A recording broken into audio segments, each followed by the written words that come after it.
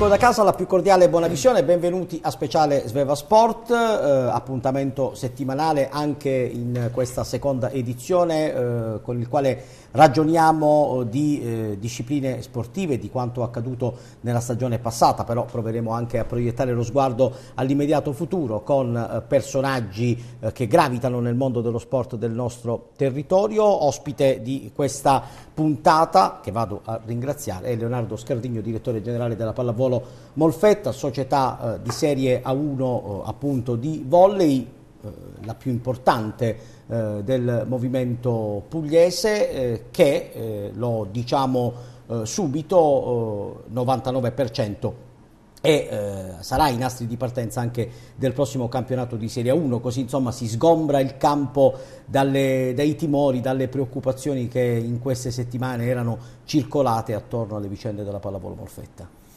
Sì, buonasera. Ehm, diciamo che i vertici societari stanno in, questi, in queste ultime ore affrontando quella che può essere la, la possibilità di iscrizione al campionato uh, di Lega. Sicuramente faremo un campionato di Lega, poi che sia a due, che sia a uno, i vertici della società in queste ultime ore lo decideranno, tanto il 18 di giugno, termine ultimo per iscrizione, è arrivato.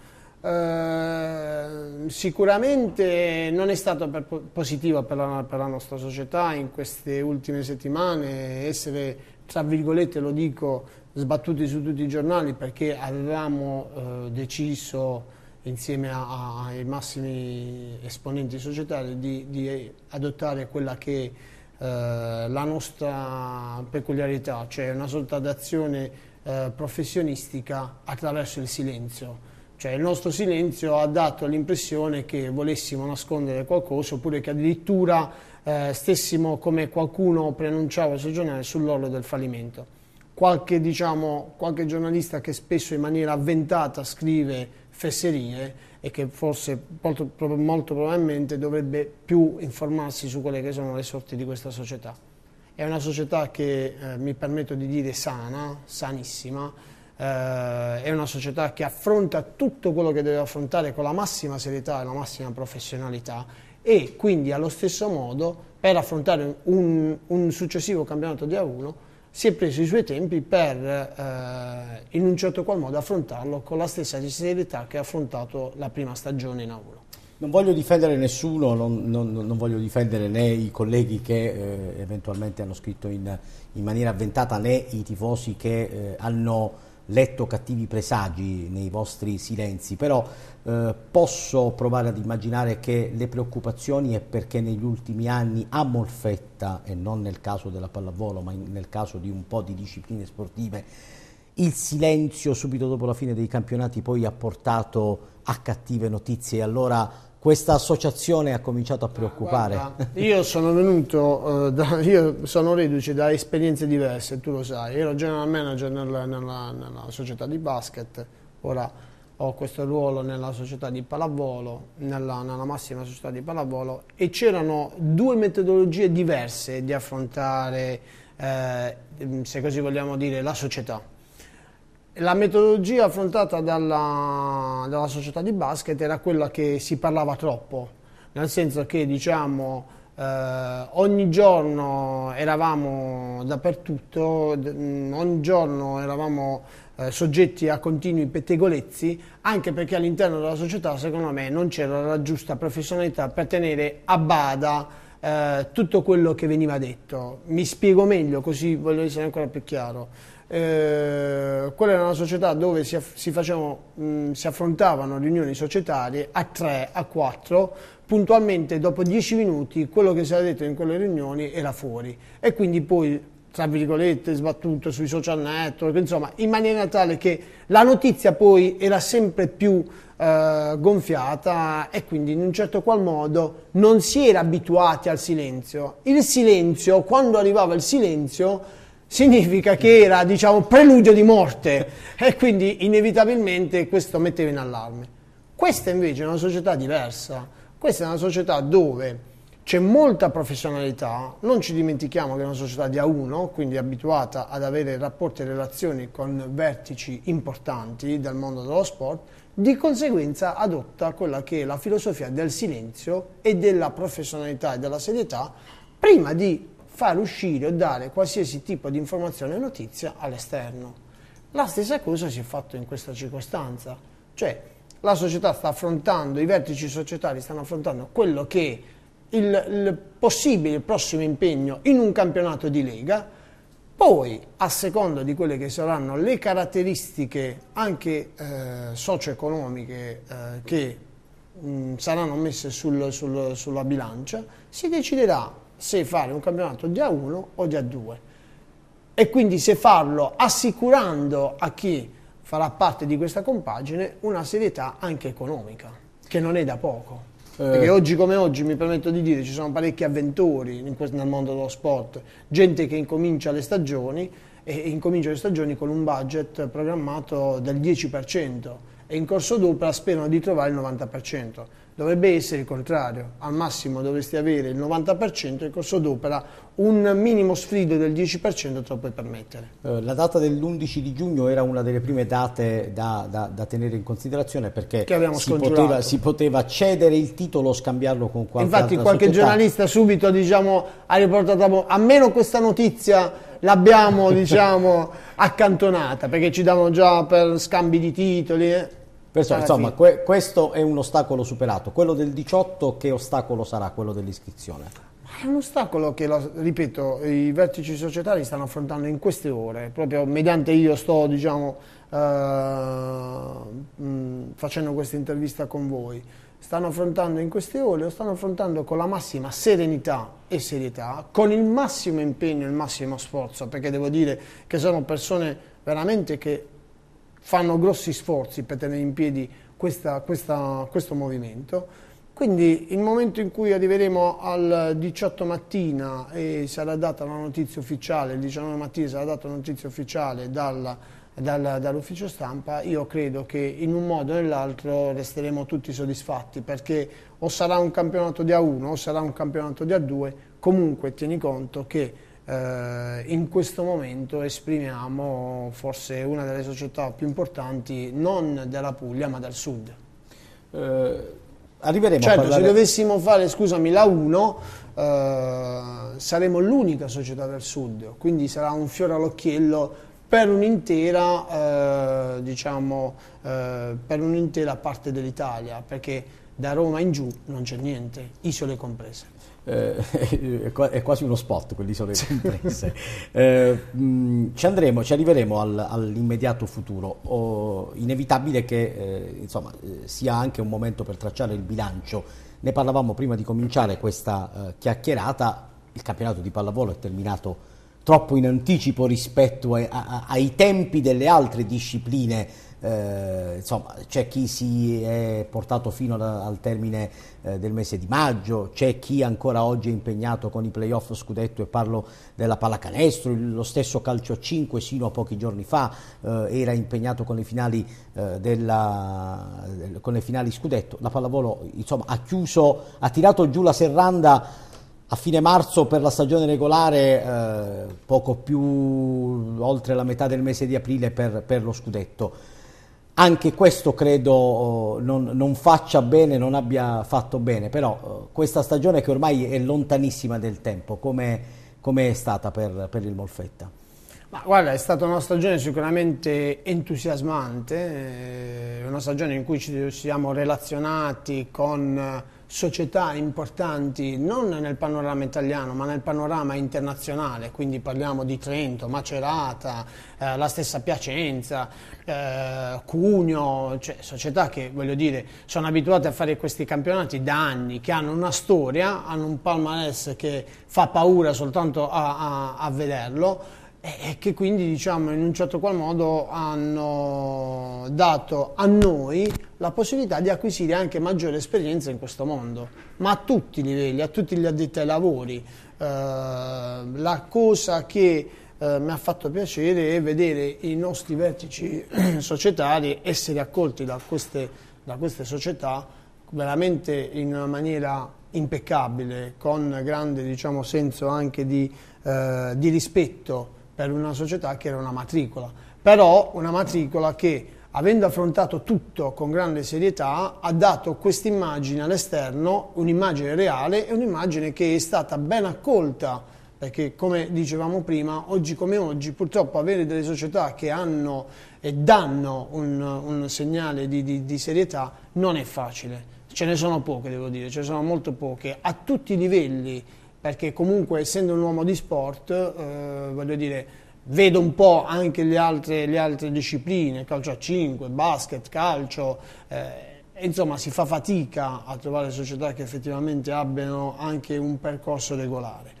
Quindi è stata una, una, una, stagione veramente entusiasmante per noi, scendere, per me personalmente il primo giorno, la prima trasferta, scendere sul campo di Piacenza, di Macerata, scusami, è stata un'emozione eh, impressionante, è stata un'emozione notevole perché sei sceso su un campo dove sei andato a giocare su un campo dove c'era la storia della, della pallavolo.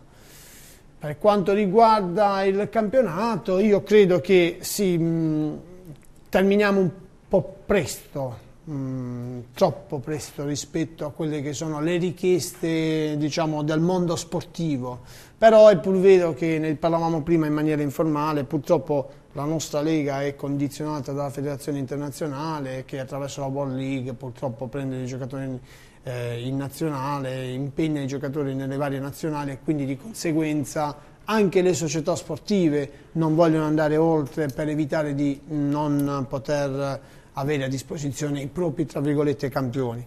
Quindi capisco che è una situazione un poco particolare anche per la nostra Lega, bisogna trovare il giusto compromesso per allungare forse basterebbe un altro mese di attività anche per rendere questo prodotto più appetibile al mondo esterno. Eh, a bocce ferme, eh, la pallavolo Molfetta lo ricordiamo eh, eh, nella prima stagione in A1 non c'erano retrocessioni poi parleremo più avanti anche del progetto della Superlega anche lì non si prevedono retrocessioni però restiamo a questa stagione. Non c'erano retrocessioni di conseguenza arrivando anche ultimi non si sarebbe rischiato nulla però in un certo momento del campionato la pallavolo Molfetta aveva eh, subodorato la possibilità di giocarsi i playoff scudetto, poi non ci sarebbe arrivata fino in fondo perché i valori tecnici eh, sono emersi alla lunga.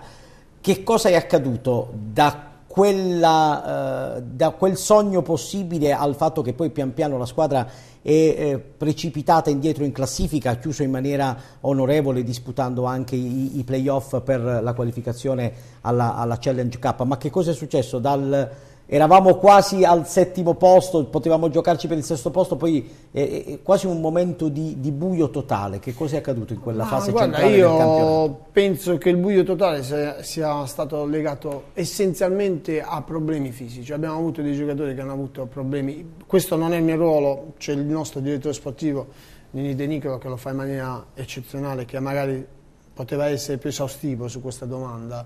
Ehm, anche perché come al solito tu, insomma, dovevamo parlare di sport in generale e, vabbè, vedo che qualche diciamo è solo sulla pallavolo che stai puntando. Per adesso per punto e quindi, e quindi abbiamo avuto una serie di infortuni. Devo dire che uh, Ninni mh, ha veramente stato per due o tre mesi sotto pressione stretta perché eh, non si faceva in tempo a recuperare un giocatore che andava via un altro, ma poi tutti i ruoli importanti, tutti i giocatori importanti, quindi di conseguenza ci siamo trovati anche negli allenamenti a non avere la giusta intensità, perché quando non hai la giusta intensità negli allenamenti, inevitabilmente eh, anche in partita non hai quell'intensità. Quindi ci siamo trovati a dover eh, necessariamente di fare necessità virtù e quindi eh, addirittura abbiamo dovuto allenarci in alcune giornate con i ragazzi del, del, dei settori giovanili, quindi questo ti lascia intendere come si fa fatica, perché a una squadra devi dare un certo, una certa intensità che poi è l'intensità della partita, per avere in partita poi gli stessi risultati, se non ce l'hai in partita inevitabilmente cali. E quindi siamo passati da un momento in cui esprimevamo un gioco brillante a un momento in cui effettivamente questo gioco, venuto, questa, questa, brillantezza è venuta un poco a scemare. Purtroppo, per, o, o, meglio, per fortuna poi negli ultimi tempi sono arrivati dei rincazzi come è stato The Spain che ci ha permesso di chiudere eh, in maniera ottimale la stagione, quindi di lottare per il quinto posto, eh, però mh, per noi è andata bene così, nel senso che il primo anno di A1 è stato già un grande successo. Forse avremmo potuto avere sulla carta qualche punto in più, ma probabilmente non avrebbe cambiato le sorti della, della pallavolo Molfetta, nel senso che comunque sarebbe stato quello mh, la, la, posizione in cui avremmo comunque chiuso la regola 6. Quindi tutto sommato, anzi direi mh, più che tutto sommato, in maniera assolutamente eh, convinta, la società mh, è rimasta, diverse società sono rimaste abbastanza soddisfatti del campionato che abbiamo fatto perché comunque eh, anche il pubblico ha espresso grande insomma, soddisfazione per quelli che sono stati i risultati. A chi va scritto il merito di aver scoperto Juan Manuel Cichello?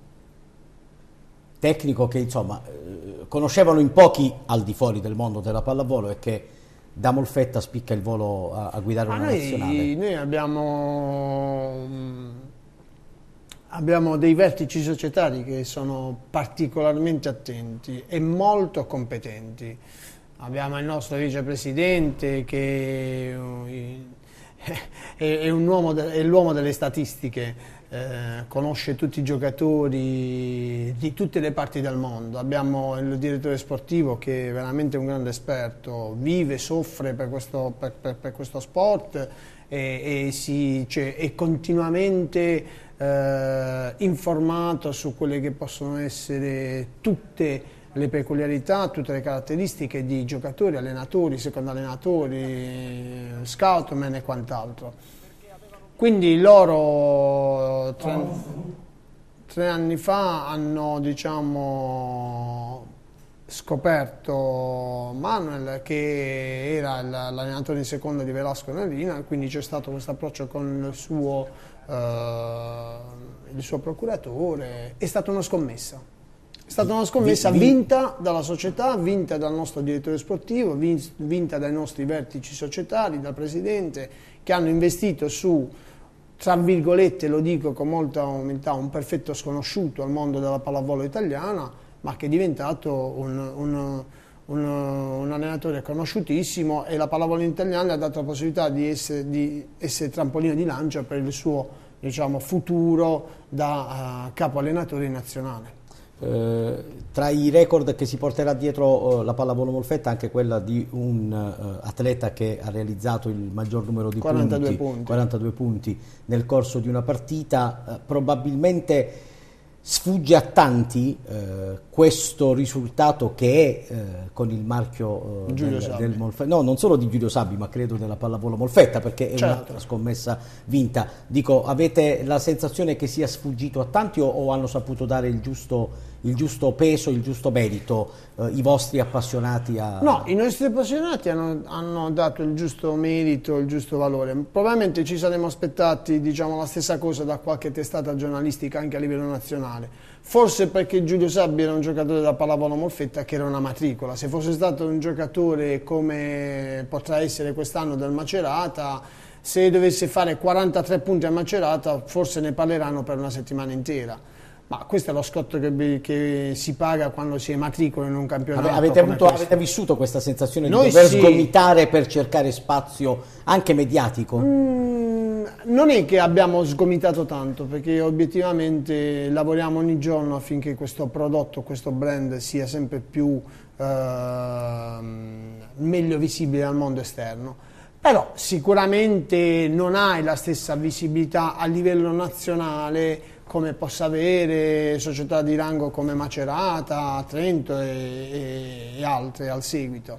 Però ce la siamo cavati bene, non, non possiamo disdegnare, ci hanno dato il giusto spazio e forse ne avremmo meritato di più, proprio nell'occasione come è stata dei 42 punti realizzati da Giulio Sabbi, che tra l'altro oltre ad essere un giocatore da pallavolo era e un nazionale, quindi Probabilmente questo sì, però va bene così. Uh, un'ultima riflessione Vuol dire del... che faremo un altro record quest'anno. se dovessimo farla a uno, se dovessimo farla a due lo faremo in a due. un'ultima riflessione prima della pausa. Uh, a proposito uh, del, dell'essere in questa prima stagione di A1, dell'essere stati un riferimento non per il sud Italia perché c'era qualche altra società, ma della Puglia innanzitutto e di un territorio abbastanza vasto, siete riusciti a catturare attenzione anche al di fuori di Molfetta con la vostra, con la vostra squadra e con la vostra partecipazione al campionato di A1 o il marchio si è fermato al territorio cittadino?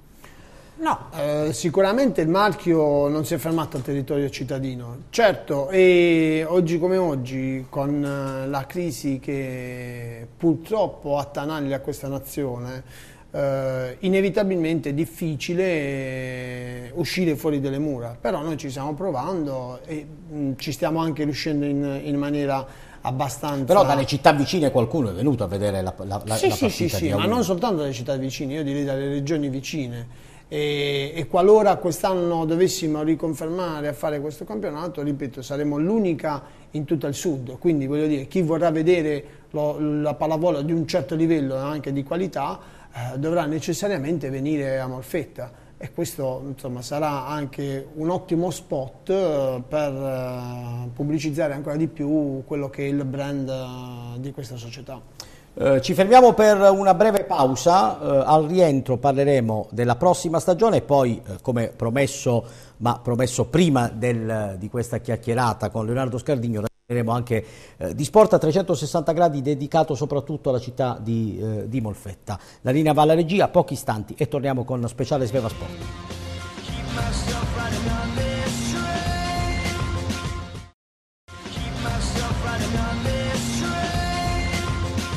Rieccoci con speciale Sveva Sport, ben eh, ritrovati, l'ospite di questo appuntamento settimanale è Leonardo Scardigno, direttore generale della Pallavolo Molfetta, abbiamo eh, diciamo, fotografato la stagione che è ormai lontanamente alle spalle, quella in A1 della società di volley, eh, ci proiettiamo a quella che eh, potrà essere la prossima stagione non soltanto della pallavolo Molfetta ma della pallavolo in generale, poi una chiacchierata sullo sport a 360 gradi ce la dobbiamo fare in questa seconda parte.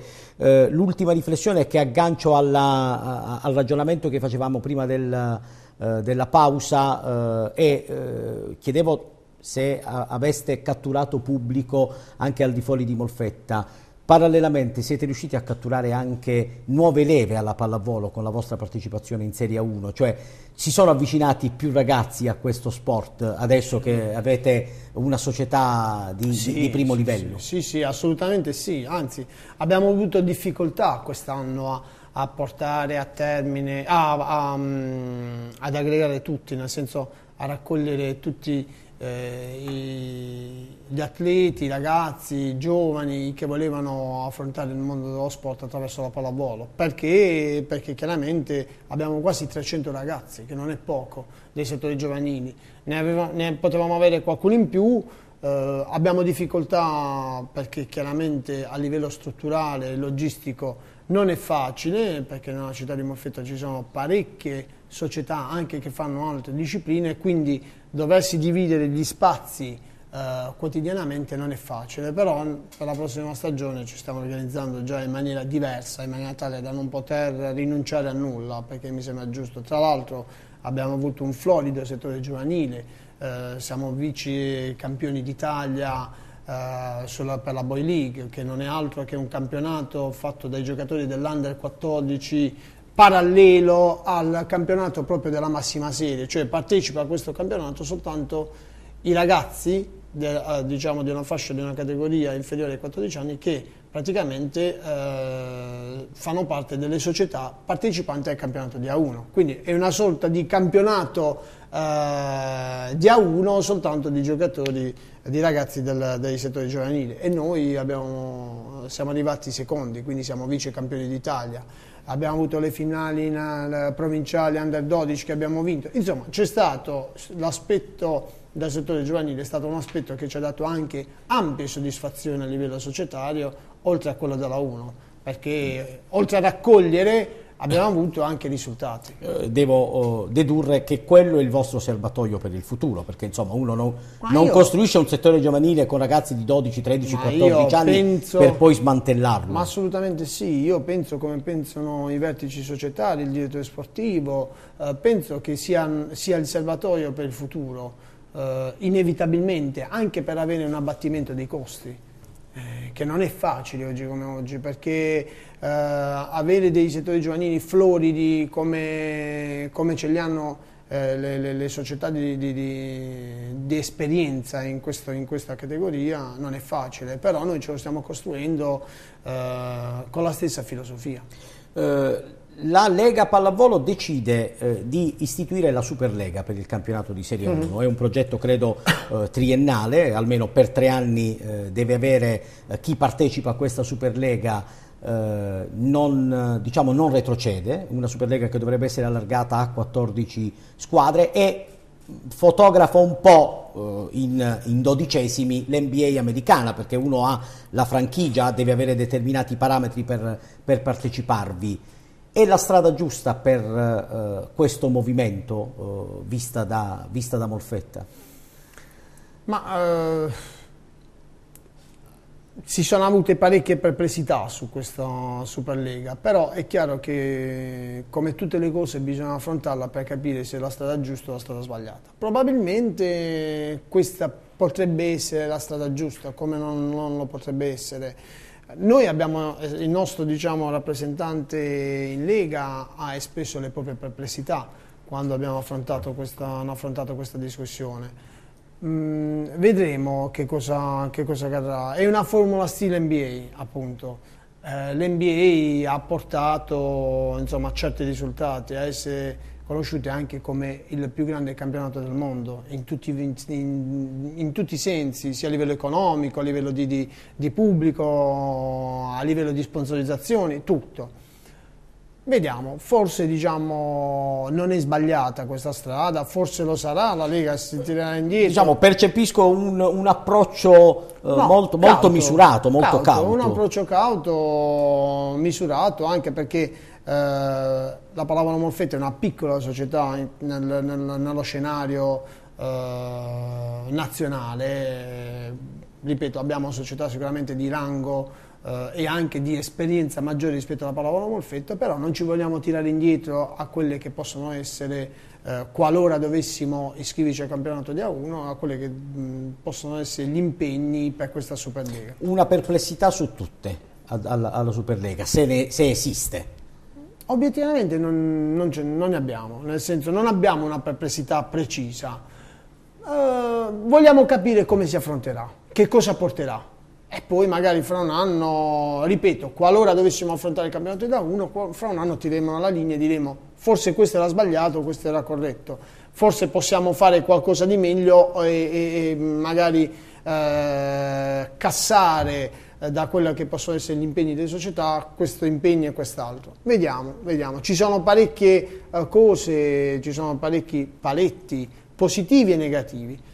Li affronteremo e, e poi capiremo quello che può essere la strada più giusta per portare questo, perché l'intento della Lega è quello che ci siamo detti prima, cioè portare questo campionato a essere su, a portarli a, su una vetrina più importante e quindi sotto questa forma, sotto questo aspetto non è errata il pensiero, però probabilmente bisognerà tararlo a quelle che sono le disponibilità delle società.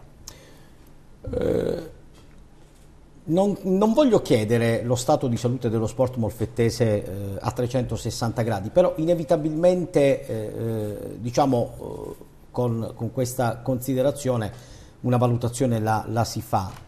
Oltre alla pallavolo Molfetta in A1 credo che facciano tutti un po' fatica a tenere il passo eh, nei propri campionati, nei propri progetti, eh, parlo della pallacanestro, un po' il calcio, l'hockey, tutte le discipline che a Molfetta insomma hanno e tengono sempre vivo eh, il, il, panorama eh, sportivo.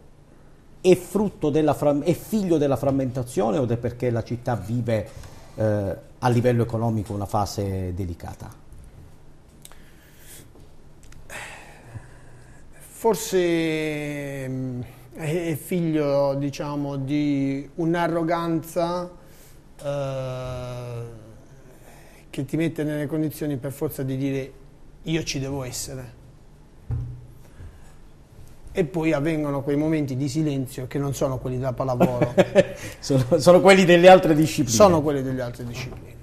Cioè, mi spiego meglio, eh, molto spesso non si ha il coraggio di mettere il punto e di dire basta, perché non si riesce ad andare avanti, perché come dicevo prima, in una fase eh, come quella che stiamo vivendo in questa nazione di grande crisi, eh, di grande crisi economica e quindi di grande contenimento, si fa fatica anche a fare il cosiddetto fundraising, quindi a, a trovare le sponsorizzazioni e quant'altro. La maggior parte delle società vivono su questo. Le società che continuano ad andare avanti in autonomia sono o le società che hanno degli imprenditori alle spalle e quindi si possono permettere in maniera autonoma di gestire il tutto, oppure società serie come la Pallavolo Molfetta che fa una programmazione attenta e eh, di conseguenza anno dopo anno non rischia di chiudere come succede per altre società. Perché? Perché ha uno zoccolo duro attraverso una programmazione seria, professionale e abbastanza al centesimo, se devi dire, che ti permette di dire affrontiamo la prossima stagione. Poi, indipendentemente da quello che possa essere a 2 o a 1, però comunque ti permette di affrontare una stagione in un campionato di lega, un campionato importante. Purtroppo non tutte le società eh, sono in questo stato di salute a Molfetta. Eh, ci sono il 60-70% di società che non sono in queste condizioni, che arrivano per una sorta di presunzione a voler eh, essere nello scenario eh, sportivo, arrivano poi alla fine della stagione che devono fare i conti con quello che è eh, il futuro e ci si rende conto che il futuro non è possibile affrontarlo.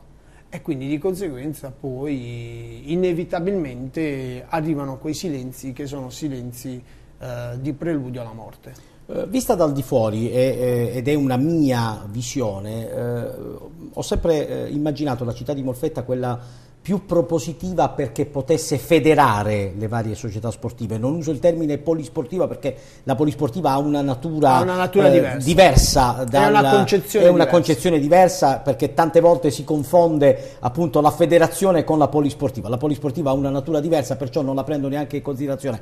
Però eh, ho sempre immaginato che... Eh, no, anche perché Mol- Molfetta come polisportiva, diciamo, la, la, mm, ci tengo a dire perché io l'ho affrontato questo discorso negli anni scorsi, la polisportiva veniva vista come te lo dico proprio, te lo, te lo metto in chiaro, Uh, io sono il presidente della società X, dammi i soldi, me li gestisco io, però faccio parte della polisportiva. Eh no, vabbè, la poli- non è la polisportiva. La polisportiva ha, una, ha, un altro tipo esatto. di, ha un'altra natura esatto. giuridica, insomma, non, esatto. uh, però la, ho sempre uh, immaginato che Molfetta fosse forse la città più ricettiva a creare una federazione di squadre, cioè a far sì che le varie discipline si federassero sotto un unico marchio.